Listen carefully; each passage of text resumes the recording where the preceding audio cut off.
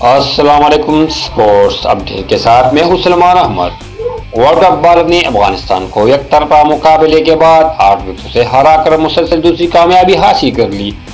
शर्मा की शानदार century ICC world cup में भारत ने अफ़गानिस्तान को एक तरफा मुकाबले में आठ विकेटों से शिकस्त तय कर मुसलसल दूसरी कामयाबी हासिल कर ली।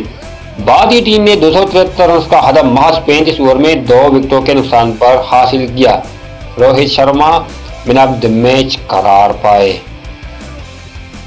रिजवान के रगे खेलने के बावजूद तबाकुन इनिंग सोशल मीडिया पर इसका तूफ़ान आ गया। वर्ल्ड कप में श्रीलंका के खिलाफ पाकिस्तानी टीम को शानदार कामयाबी दिलाने वाले wicket keeper batter Mohammad Rizwan social media पर मेन बने जा रहे। मैच में पाकिस्तानी इनिंग्स के दौरान रिजवान को क्रैम्प करना पड़ गया। श्रीलंका के बाद कौमी टीम का हैदराबाद के होटल में भरतबाग इस्तेकबाल की वीडियो वायरल। है वर्ल्ड कप में पाकिस्तान की दूसरी कामयाबी पर क्रिकेट टीम को होटल पहुँचने पर शानदार इस्तेकबाल किया गया।